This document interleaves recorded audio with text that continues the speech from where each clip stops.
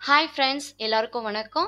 நான் உங்கள் சரண்யா. தமிழ் ட்ரேடர்ஸோன் சேனலுக்கு உங்கள் எல்லாரையும் வரவேற்கிறேன். நாம் இப்போ இந்த வீடியோவில் பார்க்க போகிறது மார்க்கெட்டை பற்றி புதுசாக தெரிஞ்சுக்கணும் அப்படின்னு நினைக்கிறவங்களுக்கு சாப்டர் வைஸில் நம்ம வீடியோஸ் போட்டுட்ருக்கோம். ஸோ அந்த வகையில் நம்ம லாஸ்ட்டு வரைக்கும் பார்த்தது ஷேர் மார்க்கெட்டில் என்ட்ராகி எப்படி ஒரு ஸ்டாக்கை பை பண்ணலாம் அப்படின்னு.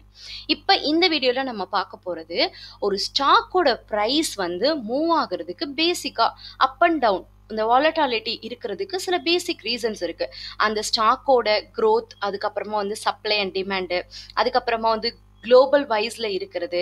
இந்த மாதிரி சின்ன சின்ன காரணங்கள் வந்து ஒரு பங்குச்சந்தையோட ஏற்ற இறக்கங்களுக்கு முக்கியமான காரணமா இருக்கும். ஸோ இதெல்லாம் இல்லாம முக்கியமான நிகழ்வுகள் என்னென்ன விஷயங்கள் பங்குச்சந்தையோட ஏற்ற இறக்கத்துக்கு வாலட்டாலிட்டிக்கு முக்கிய பங்கு வகிக்குது அப்படிங்கிறத பற்றி தான் இந்த பிகினர்ஸுக்கான சாப்டர் லெவனில் பார்க்க போகிறோம் இந்த வீடியோ நிச்சயமாக உங்களுக்கு யூஸ்ஃபுல்லாக இருக்கும்னு நம்புகிறேன் லைக் பண்ணுங்கள் உங்கள் ஃப்ரெண்டுங்களோடையும் ஷேர் பண்ணிக்கோங்க. ஓகே இப்போ நம்ம ஃபஸ்ட்டு பார்க்க போகிறது monetary policy so monetary policy அப்படிங்கிறது ரிசர்வ் பேங்க்கை சார்ந்த மூணு பேரும் கவர்மெண்ட் எந்த அரசு ஆளுதோ அந்த அரசு சார்ந்த மூணு பேரும் சேர்ந்து இந்த பாலிசியை மானிட்டர் பண்ணி வகுப்பாங்க. எப்படின்னா ஒரு பேங்க் வந்து இன்ட்ரெஸ்ட் ரேட் எப்படி கொடுக்கறது அதுக்கப்புறமா வந்து இன்ஃப்ளேஷன் எப்படி போயிட்டு இருக்கு ஸோ இதெல்லாம் எப்படி கட்டுக்குள்ள வைக்கிறது இதை பத்தி எல்லாம் டிஸ்கஸ் பண்ணி அதை சரி செய்வாங்க. எக்ஸாம்பிள் இப்போ வந்து ஒரு பேங்க் வந்து இன்ட்ரெஸ்ட் ரேட் அதிகரிக்குது ஆர்பிஐ வந்து இன்ட்ரெஸ்ட் ரேட் அதிகரிக்குது ஸோ ஒரு க்ரோத்துக்கும் இன்ஃப்ளேஷனுக்கும் அப்படிங்கும்போது அப்போ கார்பரேட் கம்பெனியால் அந்த இன்ட்ரெஸ்ட் ரேட்டை ஹையாக இருக்கும்போது அவங்களோட லோனை வாங்க முடியாது. ஸோ அவங்களால லோன் வாங்க வாங்காமல் அவங்களால அவங்களோட பிஸ்னஸை வந்து க்ரோத் பண்ண முடியாது. அவங்க அவங்க பிஸ்னஸை க்ரோத் பண்ணலைன்னா எக்கனாமிக்கு வந்து ஸ்லோ டவுன் ஆக ஆரம்பிக்கும். ஸோ இதெல்லாம் எப்படி கட்டுக்குள்ளே வைக்கிறது அப்படிங்கிறது மானிட்டரி பாலிசியில் அவங்க சரியாக வழிவகுத்து பண்ணுவாங்க.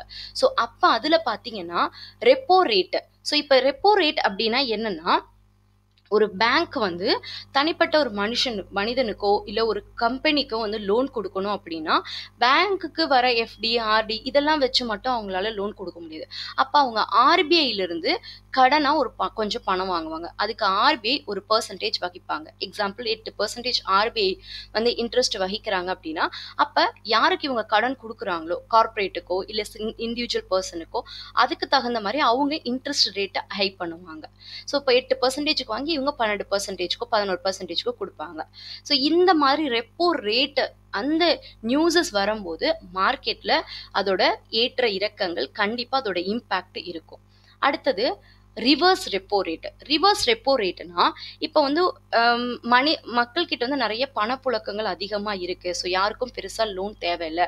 இல்லை இன்ட்ரெஸ்ட் ரேட் வந்து சேஞ்ச் ஆகுது. ஸோ லோன் எடுக்கிறதுக்கு யாருக்கும் விருப்பம் இல்லை.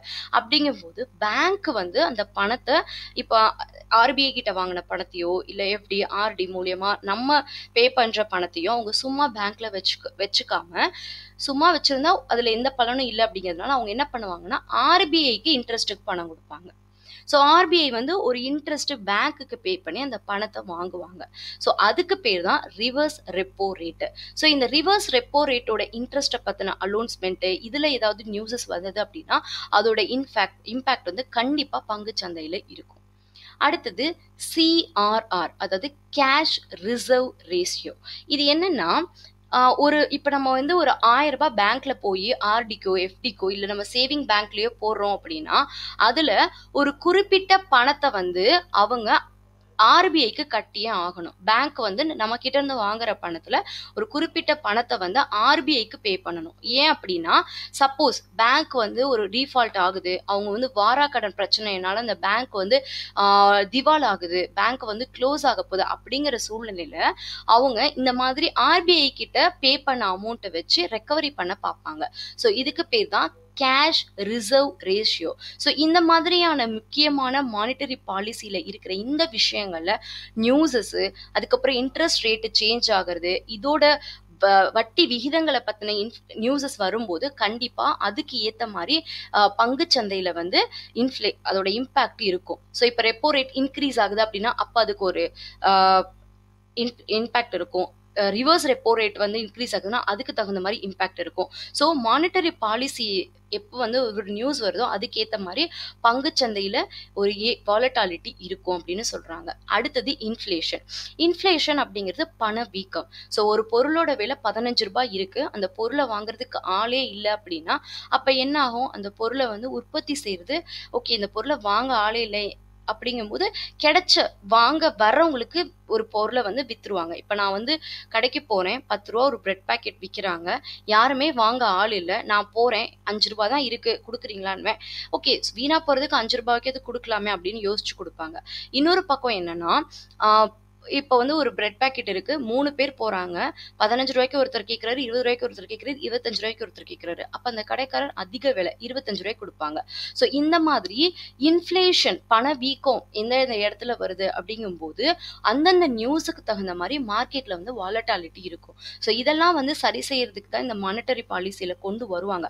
அதையும் மீறி இன்ஃப்ளேஷன் நடக்கும்போது ஒரு பொருளோட சப்ளை டிமாண்டை பொறுத்து அதோட இம்பேக்ட் வேர்ல்ட் வைடு எக்கனாமியோட இன்ஃப்ளேஷனை பொறுத்து நம்மளுடைய பங்கு சந்தையில் அதோட இம்பேக்ட் அதிகமாக இருக்கும் அப்படின்னு சொல்கிறாங்க மூணாவது இண்டெக்ஸ் ஆஃப் இண்டஸ்ட்ரியல் ப்ரொடெக்ஷன் அதாவது ஐஐபி ஸோ இண்டஸ்ட்ரியல் ப்ரொடெக்ஷனில் இருக்கிற ஒரு எக்ஸாம்பிள் வந்து ஒரு பதினஞ்சு இண்டஸ்ட்ரி இருக்குது டிஃப்ரெண்ட் டிஃப்ரெண்ட்டாக அப்படின்னா அவங்க வந்து அவங்களோட ப்ரொடெக்ஷன் டேட்டாவை வந்து மினிஸ்ட்ரிக்கு சப்மிட் பண்ணுவாங்க. ஸோ அந்த டேட்டாவை வச்சு என்ன மாதிரி இப்போ வந்து ஒரு இண்டிகேட்ஸ் ஒரு அந்த கம்பெனியோட இண்டஸ்ட்ரியல் ப்ரொடக்ஷன் டேட்டா எப்படி இருக்குது அந்த டேட்டா ரிலீஸ் ஆகிறத பொறுத்து மார்க்கெட்டில் இம்பேக்ட் ஆகும். அதுக்கு அவங்க எக்ஸாம்பிளாக சொல்லியிருக்கிறது அந்த ஐஐபி டேட்டா வந்து இன்க்ரீஸ் ஆகுதா உங்களோட ப்ரொடெக்ஷன் அதிகமாகுது அப்படின்னா அப்போ பாசிட்டிவ் சைன் அந்த பொருள் வந்து விலை அதிகமாக விற்க வாங்குறதுக்கு அதிகமாக ஆள் இருக்கு. ஸோ ப்ரொடெக்ஷன் அதிகமாக இருக்கு அப்படின்னா அப்போ பா எக்கனாமி அண்ட் மார்க்கெட் வந்து பாசிட்டிவாக இருக்கும். அதே வந்து ஒரு இண்டஸ்ட்ரியல் கம்பெனி எங்களுக்கு வந்து சப்ளை டிமாண்டே இல்லை. ஸோ நாங்களுக்கு சப்ளை பண்ண வேண்டிய அவசியமே இல்லை. அதனால எங்களோட ப்ரொடெக்ஷன் வந்து குறையுது அப்படிங்கும்போது அப்போ அந்த நெகட்டிவ் சைனாக எக்கனாமி அண்ட் மார்க்கெட்டில் இருக்கும். ஸோ இந்த மாதிரி index of industrial production IIP data வரும்போது அதோட இம்பேக்ட் மார்க்கெட்ல கண்டிப்பா இருக்கும் அப்படின்னு சொல்லியிருக்காங்க. அடுத்தது purchasing manager index PMI so இதுவும் அதே மாதிரி தான் ஸோ வந்து ஒரு பர்ச்சேசிங் மேனேஜர்ஸ் இண்டெக்ஸ் எக்கனாமி இண்டிகேட்டரை பொறுத்த வரைக்கும் ஸோ இதோட டேட்டா வரும்போதும் மார்க்கெட்ல அதுக்கு தகுந்த மாதிரி இம்பேக்ட் அதிகமா இருக்கும் அப்படின்னு குறிப்பிட்டு சொல்லியிருக்காங்க. அடுத்தது பட்ஜெட்டு ஸோ பட்ஜெட்டை பத்தி நமக்கு தெரியும். ஒவ்வொரு வருடமும் பிப்ரவரி மாசம் வந்து பட்ஜெட்டை பத்தி போடுவாங்க. ஸோ ஓவராலா இருக்கிற எல்லா மினிஸ்டர்ஸும் சேர்ந்து அந்தந்த இண்டஸ்ட்ரிக்கு என்ன தேவை? ஸோ எந்தெந்த மாதிரி அந்த இண்டஸ்ட்ரியை நம்ம வளர்க்குறதுக்கு என்ன செய்யலாம்? போன வருஷம் நம்ம பண்ண பட்ஜெட் வந்து இன்னும் சரி செய்யலாம் இன்னும் எப்படி அதை சரிப்படுத்தி பலப்படுத்தி எக்கனாமியை க்ரோ பண்ணலாம் அப்படின்னு பட்ஜெட் போடுவாங்க. ஸோ அப்போ எந்தெந்த இண்டஸ்ட்ரியில் எந்தெந்த கார்ப்பரேட்டில் அவங்க இந்த பட்ஜெட்டை இன்க்ரீஸ் பண்ணுறாங்களோ அதுக்கு தகுந்த மாதிரி மார்க்கெட்டில் இந்த பட்ஜெட் நியூஸ் வரும்போது பட்ஜெட் ஆரம்பிக்கிறதுலேருந்து நியூஸ் வந்து வெளியாகி அதுக்கு வந்து கார்ப்பரேட் கம்பெனிஸில் அதோட ரியாக்ஷன் இருக்கிற வரைக்குமே பங்குச்சந்தையில் அதோட இம்பேக்ட் அதிகமாக இருக்கும். ஸோ இந்த வருடம் ரெண்டாயிரத்தி பத்தொம்போது பிப்ரவரி மாதம் வரப்போகிற பட்ஜெட் ரொம்ப முக்கியமானதுன்னு குறிப்பிட்டு சொன்னாங்க. ஏன் அப்படின்னா இந்த ஆட்சியில் கடைசி வருட பட்ஜெட் இதுதான். ஸோ வந்து தன்னோட ஆட்சியை வந்து சரி செய்யறதுக்காக இந்த பட்ஜெட்டை இன்னும் பெட்டரா போடுவாங்க அப்படின்னு குறிப்பிட்டு சொன்னதை நான் இந்த இடத்துல உங்களோட ஷேர் பண்ணிக்கிறேன். அடுத்தது வந்து கார்ப்பரேட் ஏர்னிங் அனௌன்ஸ்மெண்ட் ஸோ இப்போ வந்து நம்ம ஒரு ஸ்டாக் வாங்குறோம். இது எல்லாமே வந்து பேசிக்காக ஃபண்டமெண்டலாக இண்டெக்ஸ் இப்போ நம்ம வந்து பார்த்தோம்ல நிஃப்டி சென்செக்ஸ் செக்டர் வைஸில் இருக்கிற IT sector bank sector so இந்த மாதிரி ஓவராலாக வந்து ஒரு இண்டெக்ஸை வந்து சேஞ்ச் பண்ணுறதுக்கு இந்த மாதிரியான ரீஸ் முக்கியமான நிகழ்வுகள் வந்து வாலட்டாலிட்டி போ அப் அண்ட் டவுனுக்கு காரணமாக இருக்கும். அதே மாதிரி கார்ப்பரேட் ஏர்னிங்ஸ் அனௌன்ஸ்மெண்ட் இது வந்து ரொம்ப முக்கியமானது. என்னன்னா ஒரு கம்பெனி எந்த அளவுக்கு வந்து ரெவென்யூ ஜென்ரேட் பண்ணியிருக்காங்க ஒரு கம்பெனி எப்படி மேனேஜ் பண்ணாங்க எக்ஸ்பென்சஸை மா அப்புறம் அந்த கம்பெனி வந்து எப்படி அந்த டேர்ம்ஸ் அண்ட் டேக்ஸஸ் இன்ட்ரெஸ்ட் சார்ஜஸ்லாம் எப்படி பே பண்ணியிருக்காங்க ஸோ எப்படி வந்து ப்ராபி ப்ராஃபிட் இந்த வருடம் வந்து அவங்க டியூரிங் த குவார்ட்டர் இயரில் வந்து ப்ராஃபிட் பண்ணியிருக்காங்க இப்படிங்கிறதில் வச்சு இவங்க ஒரு டேட்டா கொடுப்பாங்க. ஸோ இந்த டேட்டா வரும்போது மார்க்கெட்டில் அதோட இம்பேக்ட் அதிகமாக இருக்கும் அப்படின்னு சொல்கிறாங்க முக்கியமாக ஒவ்வொரு கார்ப்பரேட் கம்பெனியும் ஒவ்வொரு பப்ளிக் லிமிடெட் கம்பெனியும் நாலு குவார்ட்டர் நாலு ஒரு வருடத்துக்கு நாலு தடவை அவங்களோட ப்ராஃபிட் எக்ஸ்பென்சஸ் க்ரோத் இந்த ரிப்போர்ட்டை வந்து சப்மிட் பண்ணியே ஆகணும்னு சொல்கிறாங்க ஸோ ஃபஸ்ட்டு வந்து ஏப்ரல் டு ஜூன் அது வந்து குவார்ட்டர் ஒன் அப்படின்னும் July to September quarter two அப்படின்னும் October to December quarter three அப்படின்னும் January to March quarter four அப்படின்னும். ஸோ ஒவ்வொரு குவார்ட்டர் அப்பையும் அந்தந்த கம்பெனியோட அவங்களோட க்ரோத்தையும் அவங்களோட எக்ஸ்பென்சஸ் அவங்களோட ப்ராஃபிட் இதெல்லாம் அவங்க கொடுக்கும்போது அதோட இம்பேக்ட் பங்குச்சந்தையில் அதிகமாக இருக்கும் அப்படின்னு குறிப்பிட்டு சொல்லியிருக்காங்க.